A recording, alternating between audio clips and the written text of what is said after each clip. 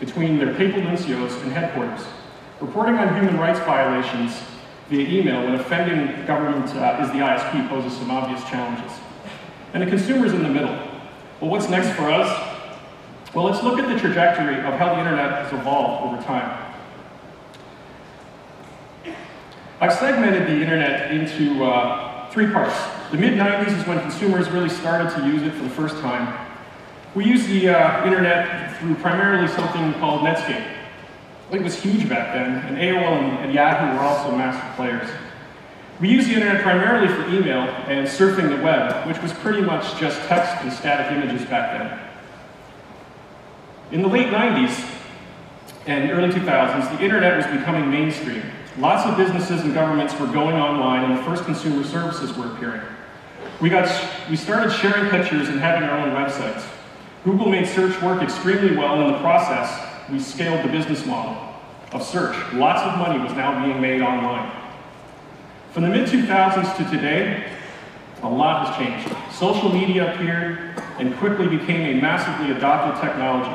Facebook, Twitter, and YouTube turned the publication model on its head and we were all dumping enormous amounts of data, our own data, onto the internet. Foursquare told us where you were, whether others cared or not, and smartphones overtook PCs as the primary device for internet connectivity.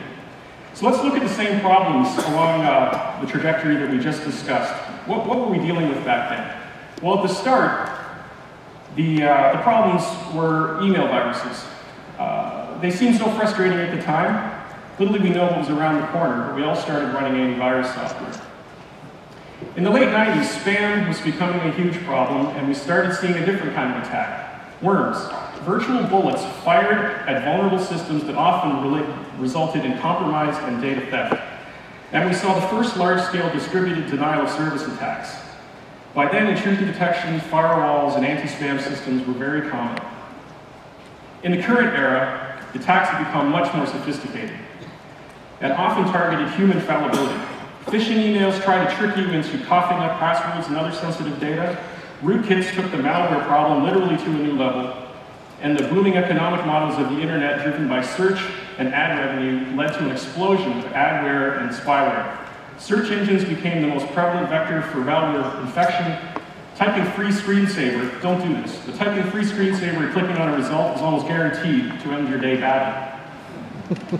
Some smartphones are now rich targets for opportunistic malware writers.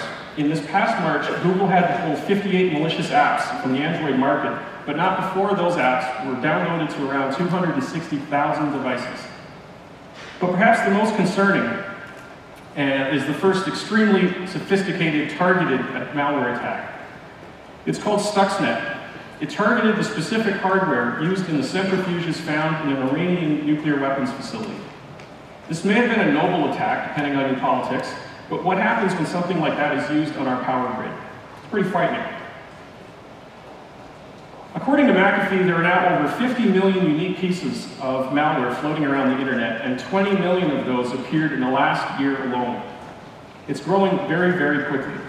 Now, because there's so much money to be made off you and I surfing the web and being an internet user, old world virus writers of the early 90s have largely been replaced in their place now are startups equipped with business plans that monetize you by hijacking search results and controlling the ads you see.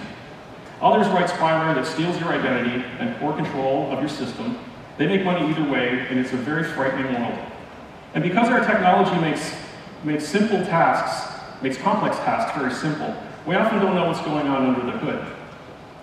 We often leave tracks behind, our own little private version of WikiLeaks, Apple recently confirmed that the iPhone tracked the location of nearby network access points in a file that lives on your phone and is copied to your computer when you sync. Here's what I found on my phone when I looked at the data.